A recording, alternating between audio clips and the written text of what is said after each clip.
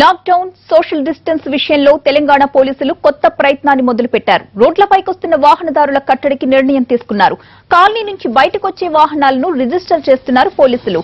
Online రిజిస్ట్రేషన్తో మూడు కమిషనరేట్ల పరిధిలో update చేశారు. మూడు కిలోమీటర్లు దాటి వాహనం నడిపితే వెంటనే చర్యలకు రంగం సిద్ధం చేశారు. నేటి నుంచే అందుబాటులోకి వాహనాలపై నిఘా కార్యక్రమం చేపట్టారు. వాహనాల నంబర్లను రిజిస్టర్ చేయనున్నారు పోలీసులు. అవసరం లేకపోయినా రోడ్లపైకొచ్చే వారిని కట్టడి చేయనున్నారు.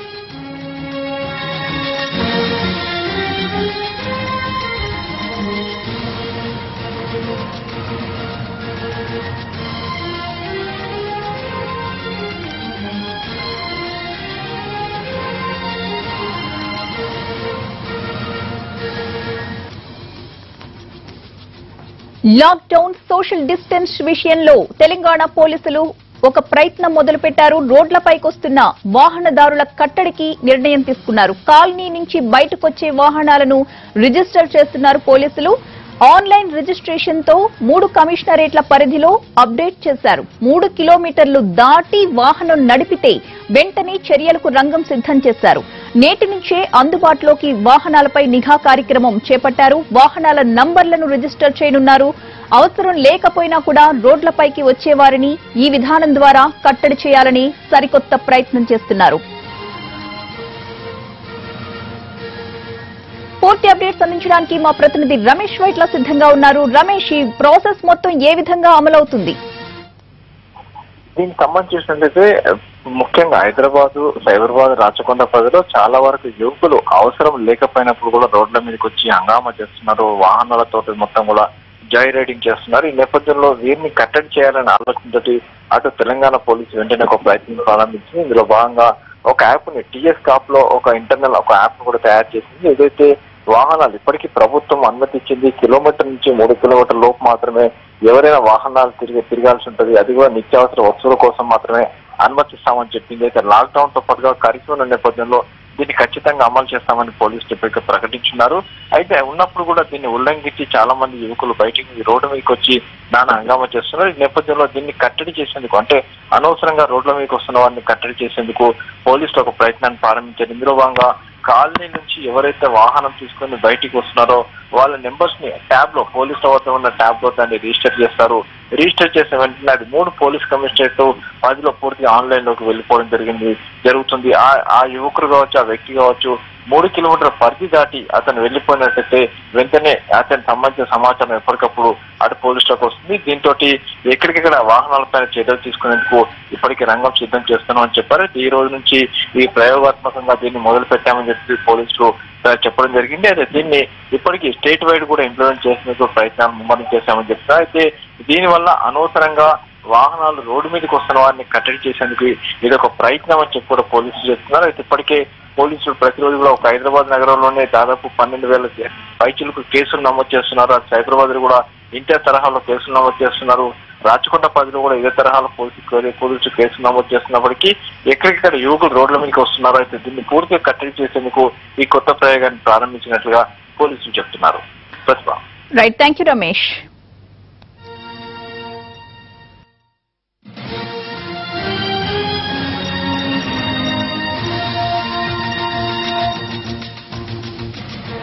lockdown నిబంధనలు గాలి కొదిలేశారు హైదరాబాద్ వాసులు. చాలా ప్రాంతాల్లో ప్రజలు వాహనదారులు రోడ్లపైకొస్తున్నారు.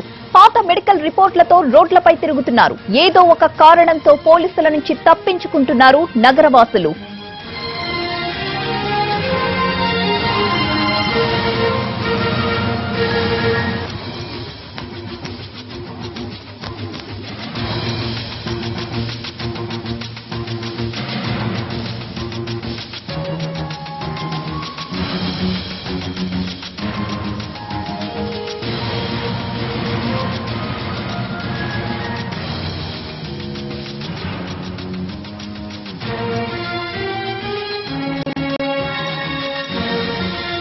లాక్డౌన్ నిబంధనలు గాలి కుదిలేశారు హైదరాబాద్ వాసులు. చాలా ప్రాంతాల్లో ప్రజలు వాహనదారులు రోడ్లపైకొచ్చేస్తున్నారు.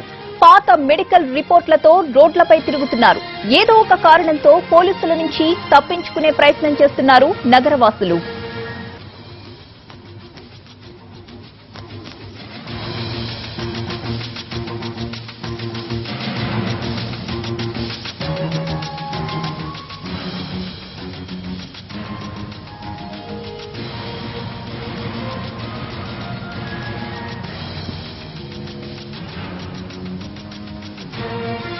పోలీసులు ఎంత కట్టుదిట్టంగా వ్యవహరిస్తున్నా కొన్ని నిబంధనలు పెట్టి ప్రజలకు కొంత వెసులుబాటు కల్పిస్తున్నప్పటికీ కూడా వాటన్నింటినీ అతిక్రమించి ఎవరిష్టం వచ్చినట్లుగా వాళ్ళు రోడ్డు మీదకి వచ్చే ప్రయత్నం చేస్తున్నారు. కొంతమంది ఆకతాయిలైతే రోడ్డు పైన నిజంగా జనసంచారం ఉందా లేదా అని చూడ్డానికి అలాగే ఖాళీగా ఉన్న రహదారుల్ని హైదరాబాద్ని చూడ్డానికి కొంతమంది ఆకతాయిలు రోడ్లపైకి వస్తున్న పరిస్థితి.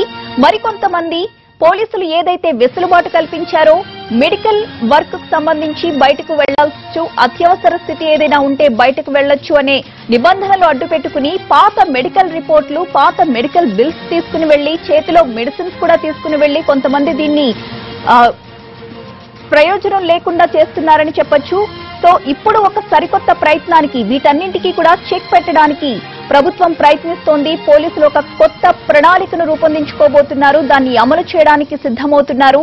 ప్రతి ఒక్క వెహికల్ని కూడా ఆన్లైన్ రిజిస్టర్ చేయించి ఆ వెహికల్ బయటకు వచ్చిన తర్వాత ఎన్ని కిలోమీటర్ల దూరం ప్రయాణించింది అనేది వెంటనే ఈ ఈ పద్ధతిలో తెలుసుకోబోతున్నారు. దీంతో కొంతవరకు కట్టడి చేయొచ్చు అనే ఆలోచనలో పోలీసు అధికారులు ఉన్నారు. దానికి సంబంధించి వాహనదారులు అన్ని కూడా ఏవైతే వెహికల్ నంబర్స్ ఉన్నాయో అవన్నీ ఈ యాప్లో వాళ్ళు యాడ్ చేయబోతున్నారు. దాంతో ఆ వెహికల్ ఎన్ని కిలోమీటర్ల దూరం వరకు తిరిగింది అనేది తెలిసిపోతుంది. వాళ్ళు పెట్టిన నిబంధన ప్రకారం రెండు మూడు కిలోమీటర్ల వరకు తిరిగితే సరే అంతకు మించి తిరిగిందంటే వాళ్ళపై కఠినమైన శిక్షలు విధించే అవకాశం ఉంది అని కూడా చెప్తూ ఉన్నారు. లాక్డౌన్ నిబంధనల్ని పూర్తిగా హైదరాబాద్ వాసులు గాలి కొదిలేశారు. రోజు రోజుకి నిర్లక్ష్య ధోరణి పెరిగిపోతున్న పరిస్థితి మనం చూస్తున్నాం. ఒక్క రోజు రెండు రోజులు మాత్రమే పోలీస్ నిబంధనల ప్రకారం నడుచుకున్నారు. ఆ తరువాత మెల్లిమెల్లిగా బయటకు ఒక్కొక్కరు ఒకరిని చూసి ఇంకొకరు బయటికి వస్తూ ఉన్నారు.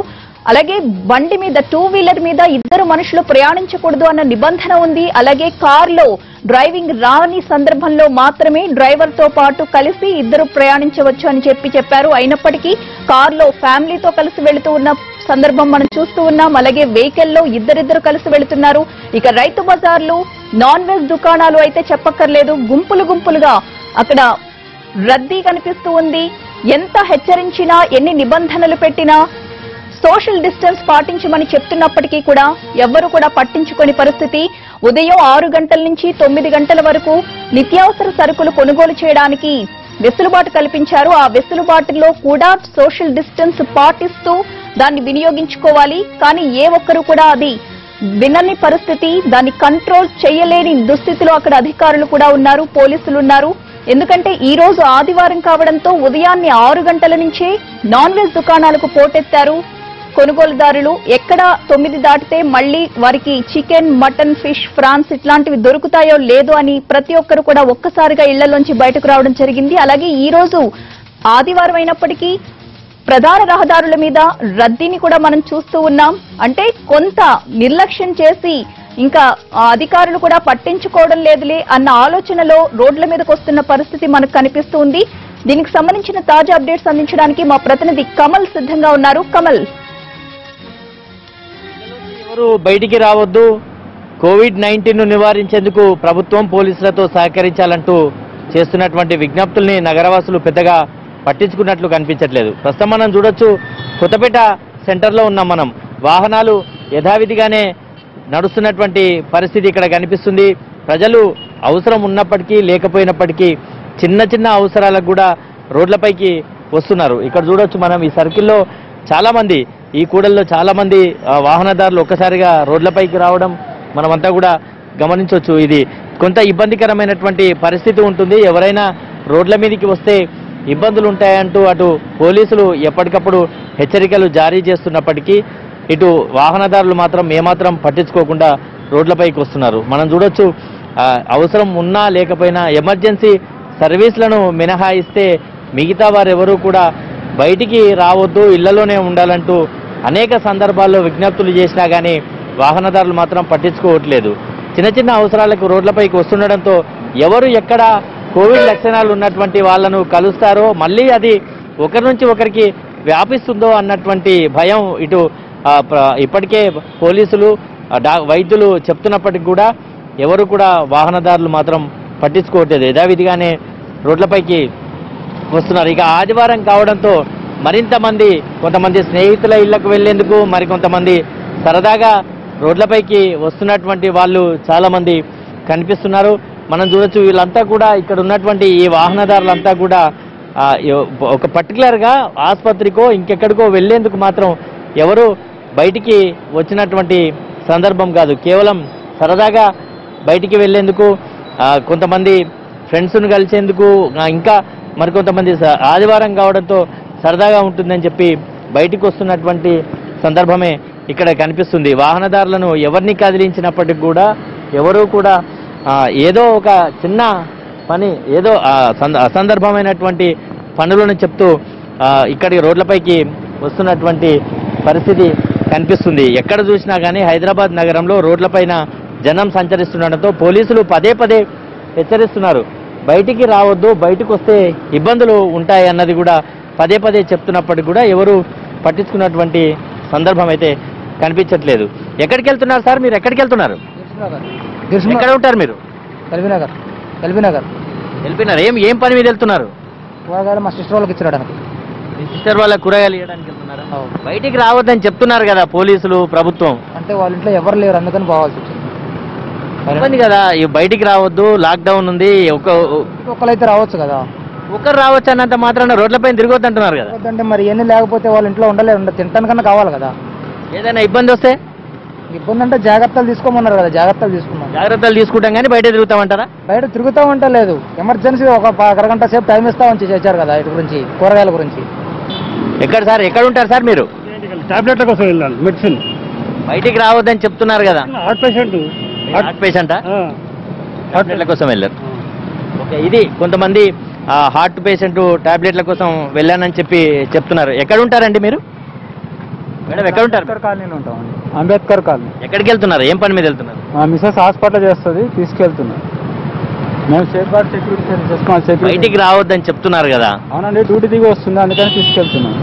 ఇది వాహనదారులను ఎవరిని కదిలించినా ఏదో ఒక కారణం. ప్రతి ఒక్కరూ కూడా ఒక కారణం చెప్తూ తన్- బయటికి వెళ్తే పోలీసులు ప్రశ్నిస్తారు. ప్రశ్నిస్తే ఏ కారణం చెప్పాలన్నది కూడా వాహనదారుల వద్ద సిద్ధంగా ఉంది. కొంతమంది పాత రిపోర్ట్స్ హాస్పిటల్కు సంబంధించినటువంటి పాత రిపోర్ట్స్ను వాళ్ళ వద్ద తీసుకొచ్చి ఇక్కడి నుంచి పాస్ అవుతున్నటువంటి సందర్భమే ఎక్కువగా కనిపిస్తుంది. చాలామంది వాహనదారులు అంటే రోజు ఇట్లే వస్తున్నారా? ఈ రోజు ఎక్కువైందా? అంటే కొంచెం సండే కాబట్టి ఈ రోజు కొంచెం ఎక్కువ అయింది సార్ సండే కదా అని చెప్పేసి పబ్లిక్ కొద్దిగా ఎక్కువ తిరుగుతున్నారు. ఏదో కారణం చెప్పి ప్రతి వారు ఏదంటే మెడికల్ అని చెప్పిస్తున్నారు. పాత పేపర్లు అని తీసుకొచ్చి చూపిస్తున్నారు. ప్లస్ ఏంటంటే ఇంకోటి కూరగాయలు ప్రతిదీ కూరగాయలు కూరగాయలు బ్యాగ్ తెచ్చి చూపిస్తున్నారు. మేము చెక్ మా పోలీస్ వాళ్ళు చెక్ చేసినప్పుడు ప్రతి ఏదో కారణం చూపిస్తున్నారు. వాళ్ళలో స్పష్టంగా ఈ కారణంతో బయటకు వచ్చారన్నది అయితే కనిపిస్తలేదు. లేదు సార్ లేదు. కొద్దిగా ఏదో కారణం బయటికి రావాలనే ఉద్దేశంతోనే వస్తున్నారు రోజుల్లికి అది. ఎందుకంటే చెక్ చేసినప్పటికీ ఏదో కారణం తీసుకొని ముందు వచ్చి చూపిస్తున్నారు. రోజు కంటే ఈ రోజు పెరిగిందా? ఈ రోజు కొంచెం సండే కాబట్టి పెరిగింది. ఈ రోజు కొంచెం ఎక్కువ కొద్దిగా. చెప్పినా కానీ వినట్లేదు వాళ్ళు. పోలీసు వారు మేము చెప్పినా కానీ ఏదో చెప్తూ చెప్తున్నారు. మేము మెడికల్ అని చెప్పి మెడికల్ షాప్ అని హాస్పిటల్ అని కూరగాయలని ఏదో ఒకటి చెప్తున్నారు వాళ్ళు. సాకులు చెప్తున్నారు. వాస్తవానికైతే ఒరిజినల్గా ఆ కారణాలు వాళ్ళకు లేవు అసలు. వాస్తవం అయితే కొన్ని కొంతమందికి ఉన్నాయి. కొంతమంది అయితే మామూలుగా తిరుగుతున్నారు కొద్దిమంది వాళ్ళు అప్పటికైనా కానీ మా చెక్ పోస్ట్ పెట్టి మా పోలీస్ ఆఫీసర్ చెక్ పోస్ట్ పెట్టి చెక్ చేస్తా ఉన్నారు. రీజన్ చెప్పి ఏదో బయటకు వస్తున్నారు. ఇది మొత్తానికి పోలీసులు ఆపితే ఖచ్చితంగా ప్రతి ఒక్కరు కూడా ఏదో ఒక కారణం అయితే చెప్తున్నారు. మెడికల్ షాప్కి వచ్చామని హాస్పిటల్కి వెళ్తున్నామని చెప్పి మా వాళ్ళు ఆసుపత్రిలో పనిచేస్తారని చెప్పి కొంతమంది కూరగాయల కోసం వచ్చామని చెప్పి ఒక బ్యాగును చూపిస్తూ ముందుకెళ్తున్నారు. గట్టిగా వాళ్ళను అడ్డుకోలేనటువంటి పరిస్థితి కూడా కనిపిస్తుందని చెప్పి చెప్తున్నారు. కానీ నగరవాసులంతా కూడా ఇప్పటికైనా ఒక విషయం గమనించాలి. అటు ప్రభుత్వం పోలీసులు పదే పదే విజ్ఞప్తి చేస్తున్నారు. ఎవరు కూడా రోడ్లపైకి రావద్దు తమ ఇళ్ళలోనే ఉండాలి. కావలసినటువంటి సరుకులు కానీ కూరగాయలు కానీ వారానికి సరిపడా ఒకేసారి తీసుకోవాలి. పదే పదే చిన్న చిన్న కారణాలు చూపిస్తూ రోడ్లపైకి రావద్దు. దీనివల్ల వైరస్ మరింత వ్యాప్తి చెందే అవకాశం ఉంది. మనం దీన్ని నివారించాలంటే ప్రభుత్వం చెప్పినటువంటి గడువు వరకు కూడా ఇళ్ళలోనే ఉండాలంటూ లాక్డౌన్ను విజయవంతం చేయాలంటూ కూడా విజ్ఞప్తి చేస్తున్నప్పటికీ నగరవాసులు మాత్రం పట్టించుకోవట్లేదు. ఇప్పటికైనా నగరవాసులు తమ ఇళ్ళకే పరిమితమైతే ఈ వైరస్ను సాధ్యమైనంత త్వరగా అరికట్టవచ్చన్నది పోలీసులు ప్రభుత్వం కూడా భావిస్తుంది. కెమెరా పర్సన్ రతన్తో కమల్ ఎన్టీవీ హైదరాబాద్.